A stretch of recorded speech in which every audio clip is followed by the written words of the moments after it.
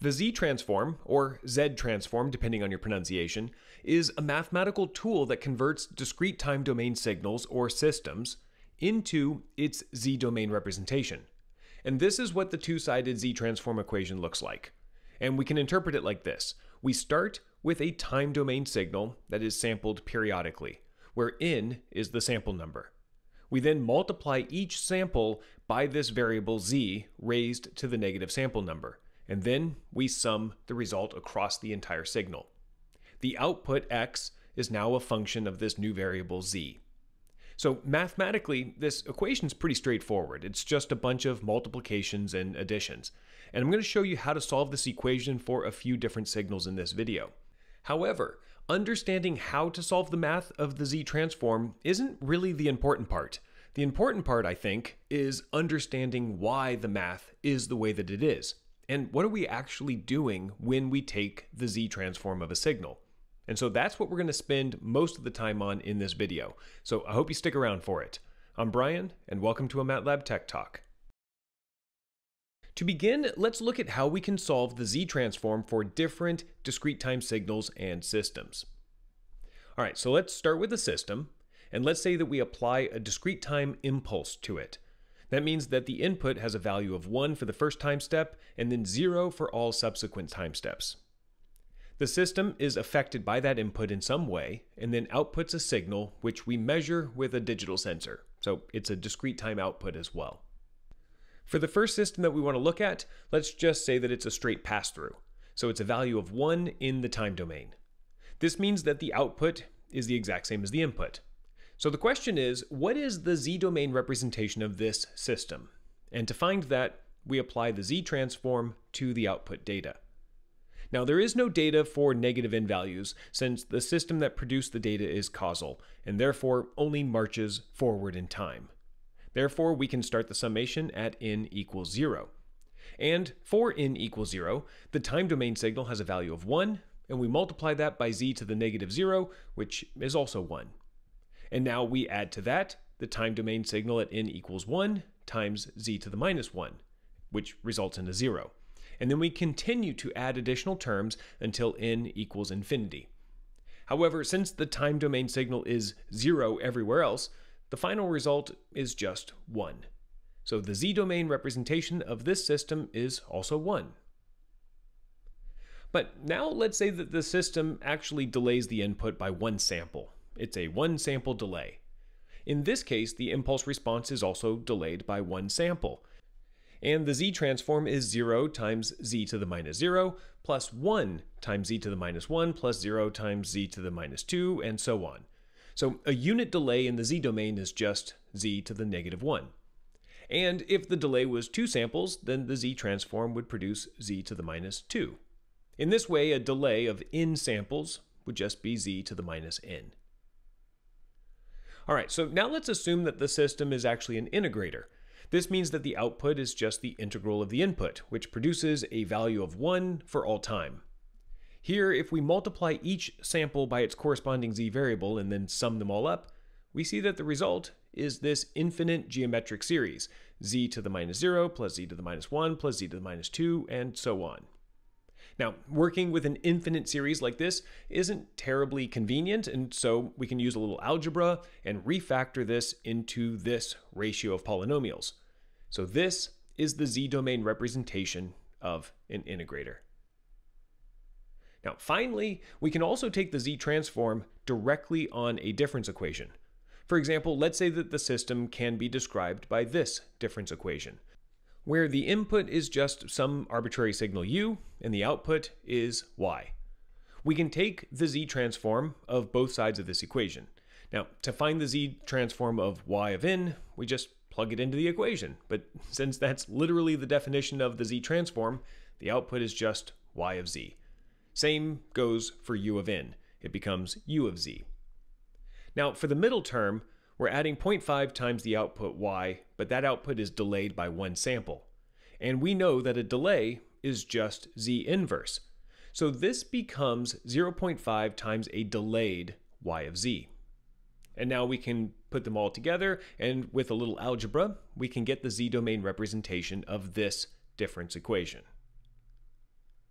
Okay, so hopefully you can see that solving the z-transform is pretty straightforward, whether you have discrete time data or a difference equation. But again, the question that I want to answer isn't really how to solve this math. It's what is the math actually doing? What is z? And why are we multiplying the time data by it? All right, so to understand the essence of the Z transform, I actually think it's helpful to first talk about the discrete time Fourier transform. The discrete time Fourier transform converts discrete signals in the time domain to the frequency domain. That is, it represents a signal in terms of its frequency content. And you can see that it's pretty similar to the Z transform. In both cases, we're multiplying the time signal by some other signal and summing the result. So I think that if we can understand what the DTFT is doing, we can better understand what the Z transform is doing. And to show you what I mean, let's walk through the discrete time Fourier transform with this MATLAB app that I created. This is a discrete time signal, x of n. And we can tell just by looking at the data that the signal is probably made up of a single frequency, at least one dominating frequency. So we might ask ourselves, how can we determine what this frequency is if this sampled data is all we have access to? And one way to do this is to compare the data with another signal of a known frequency and see if the two are correlated. If we find the right frequency, then we should reasonably expect the two signals to be highly correlated, whereas other frequencies will be less correlated. And mathematically, here's how we can approach this. To get a sense of correlation, we can multiply the data signal by the probing signal and then sum the result. When the frequencies are off from each other like they are here, there's going to be times when both signals are positive or both are negative. And when you multiply these, the result is positive and they add to the total sum. But when the two signals are of opposite sign, the product is negative and it subtracts from the total and these adding and subtracting values will tend to cancel out over many samples, and the result therefore stays low, so there's less correlation. We can see here that the sum across these 20 samples at a frequency of 0.2 radians per sample is just about zero. But watch what happens as the signals get closer in frequency.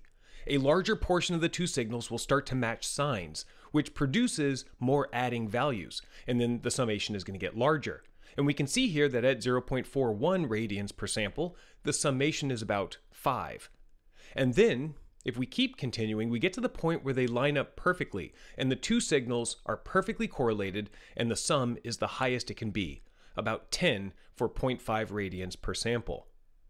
And then, as we pass through that matching frequency, the result gets low again. So, in this way, we're sweeping across all of the possible frequencies, and we're getting a graph that shows how closely our data signal correlates to all of these different probing frequencies.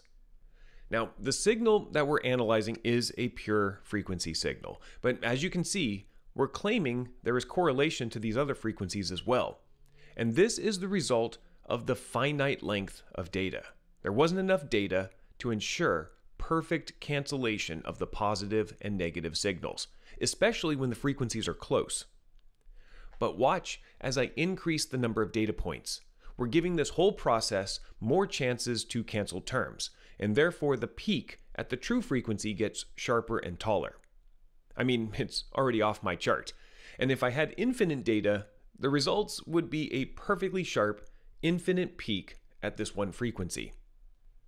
So, in this way, more data means more accurate understanding of the frequency makeup of a periodic signal since there is less leakage across the frequency bands.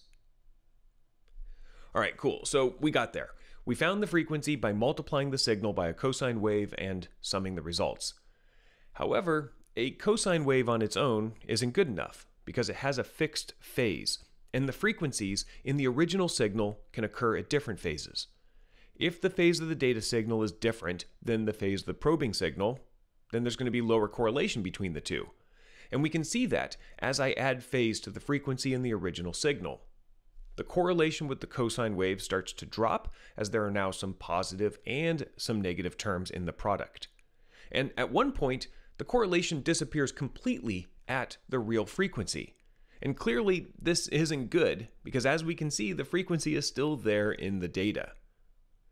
Therefore, instead of probing with a single wave, we can probe the signal with two waves that are offset from each other, a cosine and a sine wave. And to separate them from each other, we can make the sine wave an imaginary signal. Now, as we adjust the phase of the original signal, we get two responses a real component, that is the correlation to a cosine wave, and an imaginary component, that is the correlation to a sine wave. Now, as I adjust the phase of the original signal, we can see that the correlation is trading off between the real and imaginary components. The magnitude of the total correlation is the absolute value of this complex signal, and the phase shift is the argument of the complex signal. So we're actually multiplying the discrete time signal by cosine omega n plus i sine omega n. But we can simplify this equation by recognizing that cosine omega n plus i sine omega n is just equal to e to the i omega n. And the convention is to make the exponent negative, which doesn't change the overall idea of the equation, it just swaps negative and positive frequencies. And check this out. We've arrived at the discrete time Fourier transform. And that's pretty cool, right?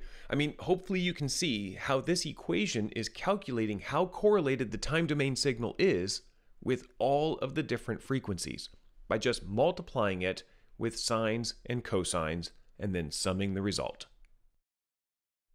Analyzing signals like this is useful. However, sometimes we want to know more than just the frequency content of a signal. We also want to understand something about the system itself that generated that signal. If we could understand the system, then not only do we understand the output, you know, given some input, but we can predict what the output would be for different inputs. And we could figure out how to manipulate the system in order to get the output that we desire. And an understanding of the system itself is where the Z transform comes in. Mathematically, the Z transform is exactly the same as the discrete time Fourier transform, except in addition to the e to the minus i omega n term, we also multiply it by an r to the minus n term. r is a positive real number, and when you raise r to the exponent negative n, you get an exponential curve. And when r is less than 1, the curve increases exponentially. And when r is greater than 1, the curve decreases exponentially. So we can sort of think of the z transform as a function that is looking for the correlation between the discrete time signal and both sinusoids from the e term and exponentials from the r term. And if we combine these two probing signals together and simplify it a bit by pulling out the negative n exponent, we get r times e to the i omega, and all of that raised to the minus n. And now we can just claim that a new variable that we call z equals r times e to the i omega, and we've reached the definition of the z transform. Now, why is this important for understanding the system itself? Well, if a system can be modeled as a linear shift invariant difference equation, then we can guarantee something about the response, namely that the output will contain both frequency content and exponential content, because the solution to a linear shift invariant difference equation contains both of those components. And if we understand the frequency and exponential makeup of the response given a known input, then we can know exactly the system that generated that response. I mean, imagine if the impulse response of a system looked like this pure exponential decay. It doesn't really make sense to transform this with a discrete time Fourier transform. I mean, we are going to get frequency content, but it doesn't really mean much because it's not actually representing the dynamics that created this signal. Ideally, we would want to know that there are no oscillations in this signal. There's no important frequency content. But instead, it's just a pure exponential decay, because we know what kind of a linear system produces an impulse response that is a pure exponential decay. So, if we're looking for exponentials in the signal, it might make sense to approach this problem just like we did with the discrete time Fourier transform. That is, let's probe this signal with different exponential functions and see if we can determine which exponentials exist within the signal. And mathematically, this is what the z transform is doing. We're probing the data signal with both e to the minus i omega n and r to the negative n to see how well correlated it is to different combinations of oscillations and exponentials. But this simple additional term, r to the minus n, adds some new problems that we didn't encounter with the discrete time Fourier transform, namely convergence. For example, let's take the exponentially decreasing impulse response, and let's set omega equals zero in the z transform. And so we're really just multiplying by r to the minus n, and then summing the result. When r is greater than 1, then our probing signal also decays exponentially. And if we multiply these two signals together, we get an even stronger decay, and the sum is just some finite value. It's not very important what this number is. But as we start to decrease r, the probing signal starts to decay less quickly. The product of the two is also decaying less quickly, and so the summation is growing. It's still just a boring finite number, though. But at some point, the probing signal grows at the exact same rate that the time signal decays. And when that happens, the product is just a perfectly flat line, and the summation right at this point becomes infinite. It no longer converges. It is this infinite value that tells us that we have perfectly matched the exponential. There is a pole here, since the summation reaches infinity. And in this case, the pole is at a value r less than 1, which means that this is a stable system. You know, the energy in x of n exponentially decays over time. So the z transform is really just sweeping through a bunch of different frequencies and exponentials to see where the summation reaches infinity, called poles. And it's also looking for where the summation is zero, called zeros, but we're going to talk more about poles and zeros in the z domain video. All right, so this is all good. Except that there's a small problem that can cause confusion. If we keep decreasing r, then the probing signal grows faster than the time signal decays, and the summation is, well, still infinity. In fact, it's even more infinite, which I know doesn't make any sense, but you know, it's it's growing faster. So we can't really make the claim that the interesting result only occurs when the summation doesn't converge to a finite value. It's only right at the moment that we go from convergence to non-convergence that gives us insight into which exponentials exist in the signal. So this region of convergence is important because outside of the region, the results don't make any sense. And this actually becomes an issue if we want to take the z transform of finite discrete data. If we only have finite data, then the summation will always converge, except for maybe at z equals 0 and z equals infinity. I mean, you know, even in this example, if our data only has these 20 samples, then you can imagine that this summation of this blue line here is very much not infinity. So we can't tell if we've matched the exponential content of a finite signal by looking at when the result goes to infinity. That is, unless we make an assumption about what the data is doing for the rest of time. Remember, at the beginning, we did take the z transform on finite data, but in each case, I made an assumption about the future data, namely that it was zero, or it was constant. Without that infinite data, the Z transform just isn't as useful as the Fourier transform. In fact, this is why in MATLAB the fast Fourier transform function can operate on finite data. But there isn't a corresponding Z transform function that will do the same. The ztrans function requires a system model, in order to have an understanding of that infinite data. But despite that limitation, the Z transform is still really powerful compared to the discrete time Fourier transform. With the Z transform, we're analyzing the system that created the data by looking at frequency and exponential content. With the Fourier transform, we're analyzing the signal that the system produced, and we do so just by looking at frequency content. All right, I hope all of this information has helped you understand the Z transform. We're going to be making a video on the Z domain that answers the question, why are we even going into the Z domain in the first place? I mean, what's so special about it? And we'll link to that here when it's published. But in the meantime, you can find all of the Tech Talk videos across many different topics nicely organized at mathworks.com.